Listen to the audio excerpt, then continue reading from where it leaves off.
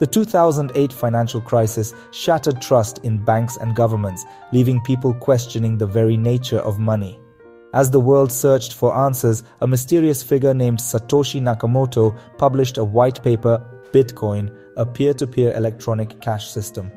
Nakamoto's idea was radical digital money without banks or governments, secured by cryptography, not trust in institutions. The heart of this system was the blockchain, a public, unchangeable ledger distributed across thousands of computers. Every transaction was recorded transparently, making fraud nearly impossible and removing the need for a central authority. For the first time, individuals could control their own wealth, free from intermediaries.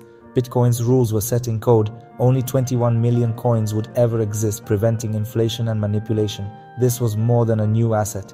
It was a blueprint for a financial system built on math, not promises. Satoshi's vision was trustless trust, where cryptographic proof replaced faith in third parties. The 2008 crisis had exposed the flaws of centralized money. Bitcoin offered a transparent, predictable alternative. It was an audacious experiment, a global, decentralized currency powered by software and belief. The world had never seen anything like it. On January 3, 2009, Bitcoin came to life with the mining of the Genesis block. Embedded in its code was a message Chancellor on brink of second bailout for banks, a permanent reminder of Bitcoin's purpose. The first transaction soon followed. Satoshi sent 10 Bitcoins to Hal Finney, proving the system worked.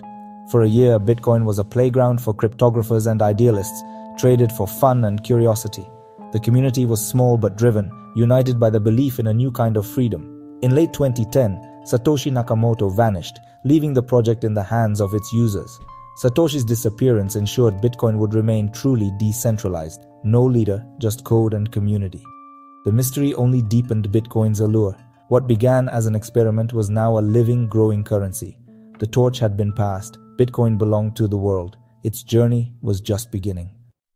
Bitcoin's first real world use came in 2010 when Laszlo Hanyecz paid 10,000 Bitcoins for two pizzas, now legendary as Bitcoin Pizza Day. This simple act proved Bitcoin could buy real goods, not just exist as code. Soon, Bitcoin found another use Silk Road, a darknet marketplace where it became the currency of choice for anonymous transactions. Silk Road's notoriety brought both demand and controversy, linking Bitcoin to the world of illicit trade. Yet it also showcased Bitcoin's resilience. Governments could shut down websites, but not the flow of Bitcoins. Early adopters, libertarians, activists, and risk takers saw Bitcoin as a tool for financial freedom. The community was wild and chaotic, fortunes made and lost, wallets forgotten, and exchanges hacked. But in this digital Wild West, Bitcoin's technology was tested and proven. The movement grew, fueled by passion and the promise of a new kind of money. Bitcoin survived its turbulent beginnings, emerging stronger and more valuable. The foundation for a revolution was set. By 2013, Bitcoin's price soared from $13 to over $260, grabbing headlines worldwide. The Cyprus banking crisis drove people to seek alternatives, and Bitcoin's borderless nature made it a safe haven. Media frenzy brought a wave of new users, no longer just techies but everyday investors chasing quick gains. The first major Bitcoin bubble had arrived, transforming it into a global phenomenon. But the rise was followed by a spectacular crash, with prices plummeting over 70% in days. The collapse of Mt. Gox, the largest exchange, wiped out fortunes and exposed the risks of unregulated markets. Each boom and bust cycle tested Bitcoin's resilience, but the network endured. The community learned hard lessons, building better security and infrastructure. Bitcoin's story became one of survival, each crash weeding out speculators and strengthening the core. The pattern was set. Hype, crash, rebuild, repeat. With every cycle, Bitcoin's foundation grew stronger. The world was watching, and Bitcoin was here to stay. The chaos of Mt. Gox and wild price swings drew the attention of regulators worldwide. Some countries banned Bitcoin, others tried to fit it into existing laws, treating it as a commodity. The era of lawless crypto was ending, but a new chapter was beginning. Wall Street, once dismissive, started to take notice. By 2017, institutional investors saw Bitcoin as digital gold, scarce, uncorrelated, and full of potential. The 2017 bull run sent prices to nearly $20,000, fueled by both retail mania and institutional interest. Bitcoin futures launched on major exchanges, signaling its arrival in mainstream finance. Another crash followed, but this time the infrastructure remained.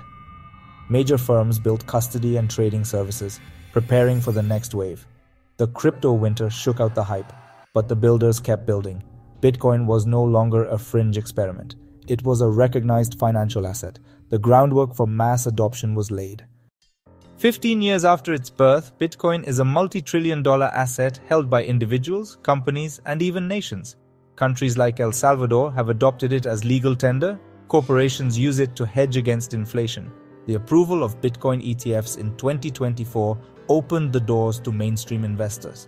Bitcoin has survived hacks, crashes, and crackdowns, each challenge making it stronger. Its decentralized design, once doubted, is now its greatest strength. No leader, no off switch. The technology sparked a wave of innovation blockchains, DeFi, NFTs, all inspired by Bitcoin's example. While many projects will fail, the movement toward decentralization is unstoppable. Bitcoin's true legacy may be as a check on centralized power, a savings tool for the world, and a working alternative to traditional money. The questions Satoshi asked about trust and control are more relevant than ever. Bitcoin's story isn't finished, but it has already changed the world. It stands as proof that a single idea can reshape our digital future.